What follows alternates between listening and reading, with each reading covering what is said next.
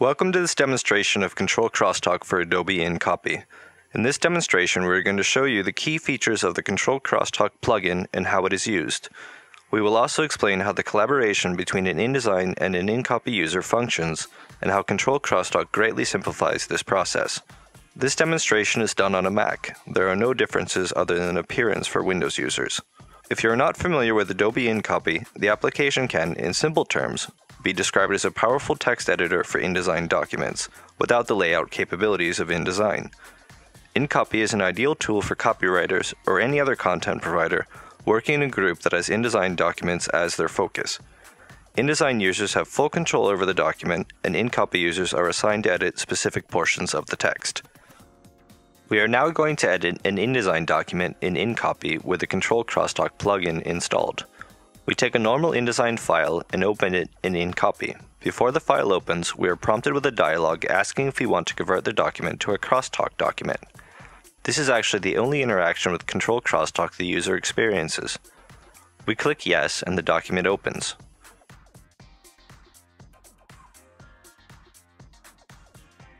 We choose the text we are going to edit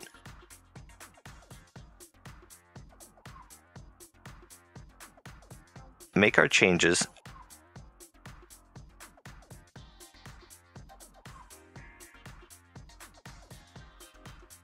and then save and close the document.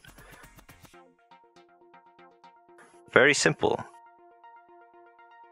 So what and where is the benefit of crosstalk? We have now uninstalled Control Crosstalk, leaving InCopy with all of its default settings and plugins. We take the same file as in, the previous example and attempt to open it using InCopy. The file opens, we are greeted with a message saying that this document contains no InCopy stories and that Galley View and Story View are not available. We should, however, still be able to edit the text in Layout View, right? We choose the text we want to edit and start typing, and nothing happens. The reason why InCopy users are not able to edit the text as we previously did with Control Crosstalk installed is because the InDesign document needs to be prepared with assignments. This is something that needs to be done from InDesign by an InDesign user manually. Here in InDesign, text boxes need to be designated as assignments, and for each assignment, an InCopy story file is created. In order to make this entire document editable using InCopy, an InDesign user needs to create almost 50 InCopy story files, selecting and assigning them one at a time.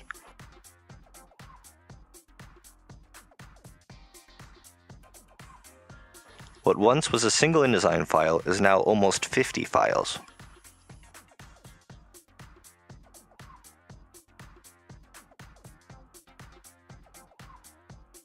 Let's take a look again at how the Control Crosstalk plugin bypasses all these files and assignments and enables InCopy users to edit the InDesign file without any of the preliminary processes otherwise required.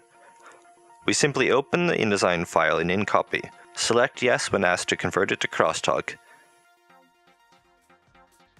and then choose any text we want to edit.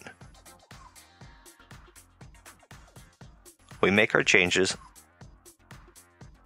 save, and close the document. Now you've seen the benefit of the Control Crosstalk plugin. Thank you for watching, and please visit our website for more information.